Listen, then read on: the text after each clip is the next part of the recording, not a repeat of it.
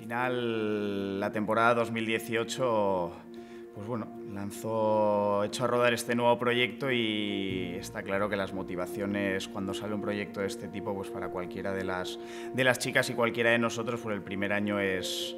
La ilusión es enorme, cumplir las, las expectativas y alcanzar los mismos resultados que alcanzamos el año pasado no iba a ser fácil, iba a ser complicado. Yo ya lo dije cuando terminamos 2018, que estaba muy contento por esta temporada o por esa temporada, pero que había que tener cuidado porque era un hándicap. ¿no?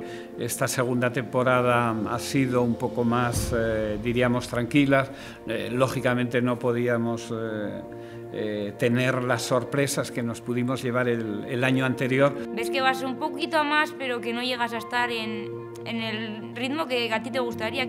Al final en resultados eh, no hemos estado muy lejos de lo que hemos llegado a hacer en, el 2018. He conseguido prácticamente igualar victorias de, en el equipo, salvo salvando un poco los campeonatos nacionales. La actitud del equipo en general ha sido, ha sido brillante, carrera la que hemos ido, carrera en la que en la que siempre han estado peleando desde el primer momento y, y, desde luego eso es un motivo de orgullo y un motivo para, para estar muy contentos con, con, esta, con esta temporada. Ganar el Campeonato de España ha sido algo muy especial, ¿no? Nunca me había planteado luchar por la prueba de, línea, siempre me centraba un poco más en la crono. Otra victoria muy importante y bueno, personalmente fue la etapa de Burgos. Ahora, este 2020 también inicio temporada siendo campeona nacional. Lo bueno es que he conseguido tener un estado de forma que nunca en mi vida había, había logrado y pues estoy convencida de que puedo volver a llegar a ello. Corredoras jóvenes como, como es Paula han dado, han dado un gran paso y y sobre todo esto de cara al futuro pues bueno, nos genera mucha ilusión a la hora de plantear el, las próximas carreras, sobre todo en esta próxima temporada.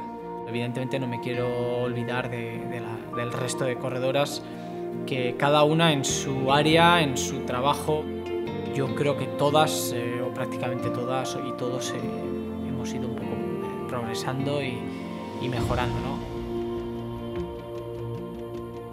Cuando comenzamos en 2018 ya nuestra intención era poco a poco, paso a paso, ir, ir creando un gran equipo de ciclismo y el Ser World Tour era algo que, que era muy importante, sobre todo pues bueno, porque se han, se han llevado a cabo unas reformas para, para profesionalizar el ciclismo femenino con las que nosotros somos partícipes, estamos de acuerdo y es algo por lo que nosotros mismos también estamos empujando.